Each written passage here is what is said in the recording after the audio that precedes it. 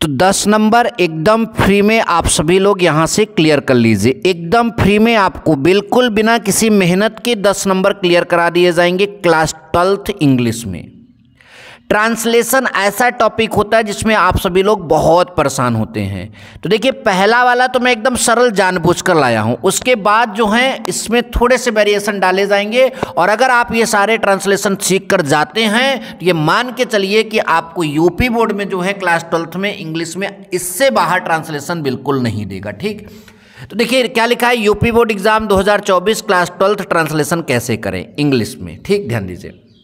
एक हिंदी में ऐसे आपको दिया जाएगा, जैसे यहाँ पर क्या दिया है, अब हम स्वतंत्र हैं, हम अपने भाग्य के स्वामी हैं, हमारी सरकार है और अपना संविधान। किंतु हमारे सामने अनेक समस्याएँ हैं, हमें उन्हें सुलझाना है। ठीक, इस तरह का है। अब मान के चलिए, जब भी कोई ट्रांसलेशन आप लोग करिए, ये मान के चलिए कि आपको उसमें कुछ नहीं आता। अब हम स्वतंत्र हैं। स्वतंत्र हैं यानी फ्री हम यानी वी अब यानी नाव हैं यानी आर तो वी आर फ्री नाव या नाव पहले भी लिख सकते हैं नाव आगे पीछे कहीं भी लिखिए, कोई दिक्कत नहीं। नाव वी आर फ्री या वी आर फ्री नाव हम अपने भाग्य के स्वामी हैं। तो हम वी हैं, पहले लिखोगे आर क्या हैं? स्वामी तो the master we are the master हम स्वामी हैं। आप अपने भाग्य आवर ओन फेथ यानी लिखा है we are the master of our own faith यानी हम अपने भाग्य के स्वामी हैं। आगे लिखा है, हमारी सरकार है। वी हैव आवर गवर्नमेंट हमारी सरकार मतलब इससे पहले अंग्रेज़ों की सरकार हुआ करती थी।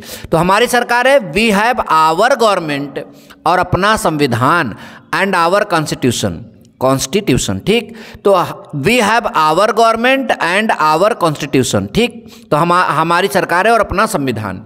किंतु हमारे सामने बट वी हैव मतलब अनेक समस्याएँ हैं, हमारे सामने अनेक समस्याएँ हैं। तो but we have many problems in front of us but we have many problems in front front of us हमें उन्हें सुलझाना है। वी हैव टू सॉल्व सुलझाना मतलब हल करना है। We have to solve them यानी उन्हें सुलझाना है। तो आई होप कि पहला वाला पैरा जो दिया है हिंदी में, उसका ट्रांसलेशन आपको बहुत ही गजब तरीके से समझ में आया।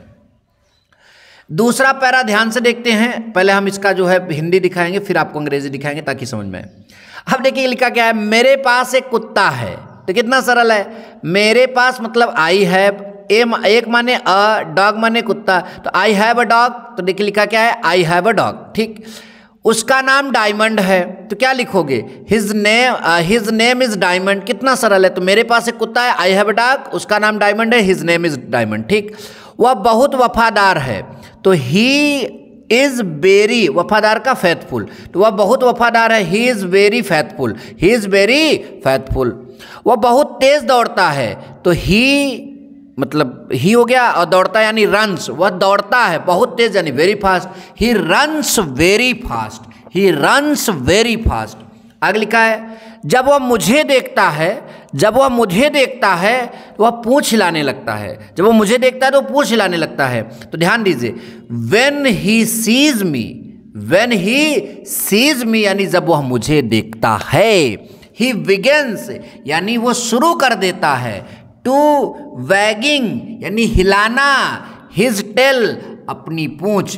तो वह जब जब मुझे वह देखता है तो वह पूछ हिलाने लगता है, यानी पूछ हिलाना शुरू कर देता है। तो ये जो है, दूसरे पैरा का यह पूरा आपका ट्रांसलेशन यहाँ पर हमने समझा दिया। अब तीसरा पैरा ध्यान से देखिए। क्या लिखा है? बसंत ऋतु जो है, आ गई है। कौन सी ऋतु ऋतु आ गई है? बसंत ऋतु आ गई है।